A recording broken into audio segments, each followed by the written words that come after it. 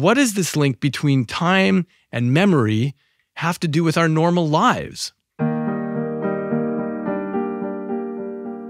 Well, this is why time seems to speed up for all of us as we get older.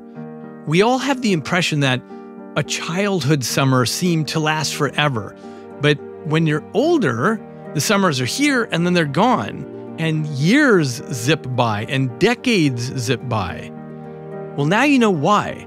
It's because the job of the brain is to build an internal model of the world out there.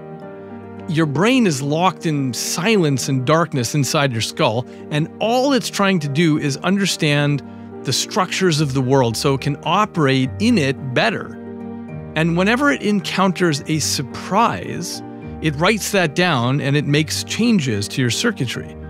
But as you go through life and your brain develops better models of the world, less and less carry as much surprise. And this is why you lay down fewer memories as you age. It's because you've seen that situation before and you've met that personality before and you've done that job before.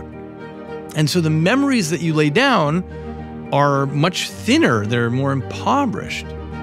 But in contrast, when you're in your childhood, everything is new. And so the richness of that, of your memories, gives you the impression of increased duration when you are looking back at the end of a childhood summer, it seems to have lasted for such a long time because everything was new.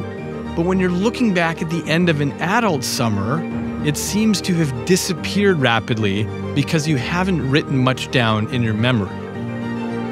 So, I don't recommend emergency situations, but it sure does make you operate like you're a child again. So, here is the take home lesson we have to seek novelty because this is what lays down new memories in the brain.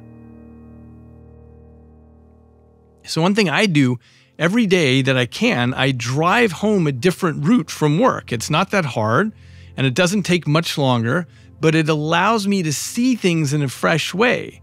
Most of us have had the experience that when you drive to work for the first time, it seems to take a really long time, but after that it shrinks. And it's because you're becoming an automatized zombie and you're just running this program unconsciously of driving to work. You're not noticing new things anymore. And another thing I try to do is rearrange my office every month or so. It's really easy. You just push your desk over to the other side, you maybe swap the artwork on the walls, things like that. These are easy things to do.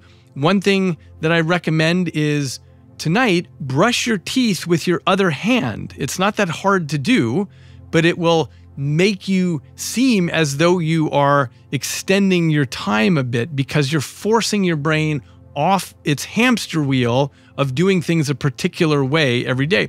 And by the way, if you wear a watch or a Fitbit, switch it to the other hand so that when you are looking at it, it's not just an automatic thing, but it's something you have to put a little bit of attention towards.